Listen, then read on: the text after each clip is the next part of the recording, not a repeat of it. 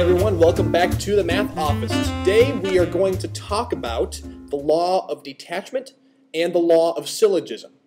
Let's look at the law of detachment first. The law of detachment basically says that if you have a conditional statement that's true and a hypothesis that's true, then the conclusion is also true. Now, your conditional statement is going to be a general statement, not referring to anyone or anything in particular, usually. Your hypothesis is going to be more specific than that. Let's take a look at what I mean. Here we have a conditional statement on the board. If you run every day, then you get good exercise. Now notice this is just a general statement. When I say you, I could be referring to anyone, basically. Now we have a more specific hypothesis to go along with that. Emilio runs every day. So what can we conclude about Emilio if he likes to run every day? The answer is Emilio gets good exercise. Let's look at those two statements again. If you run every day, then you get good exercise. Now Emilio runs every day, so Emilio gets good exercise. That's what we can conclude by the law of detachment. So that's a quick example of how to use the law of detachment. Now let's take a look at how to use the law of syllogism. The law of syllogism says that if you have two conditional statements and the conclusion of one is the same as the hypothesis of the other, then you can conclude that the hypothesis of the first one implies the conclusion of the second one. I know that's a mouthful, so let's take a look at an example that will hopefully clarify this. Here are two conditional statements on the board. If you live in Cleveland, then you live in Ohio.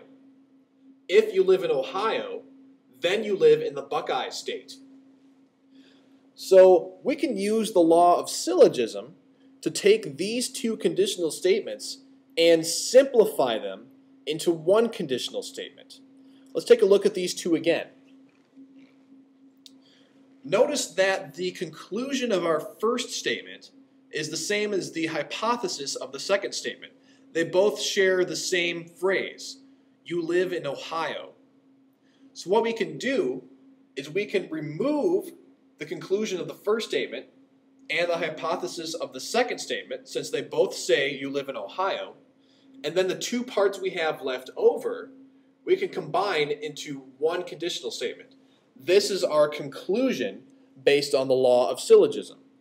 So if you live in Cleveland, then you live in Ohio. And if you live in Ohio, then you live in the Buckeye State. We can simplify this, and our conclusion by the law of syllogism is that if you live in Cleveland, then you live in the Buckeye State. So that is a quick example of how to use the law of syllogism. Now let's take a look at one more case where you can use both the law of detachment and the law of syllogism at the same time. We're going to have one more example up here on the board, and we're going to use both the law of syllogism and the law of detachment to reach a conclusion. We're going to have two conditional statements and a hypothesis. So let's look at these. If you play football, then you play a sport. If you play a sport, then you're an athlete. Tony plays football. So let's see what conclusion we can reach when we use the law of detachment and the law of syllogism. We're going to use the law of syllogism first. Let's look at our two conditional statements. Now notice that the conclusion of our first statement is the same as the hypothesis of the second statement. So as we saw earlier, we can remove these two parts, and then what's left we can combine into one conditional statement. So we can remove you play a sport from both statements and say, if you play football, then you're an athlete.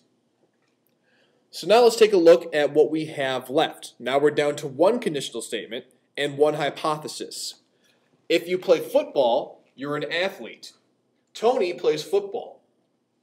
So at this point, we can use the law of detachment to make a conclusion about Tony, since we only have one conditional statement and a hypothesis. Let's take a look. Our conclusion will be that Tony is an athlete. Since Tony plays football, we can conclude by the law of detachment that Tony is an athlete. So there's an example of where you're going to use both the law of syllogism and the law of detachment at the same time. All right, that's all the time we have for the math office today. Uh, I have a train to catch, so I'll see you guys later.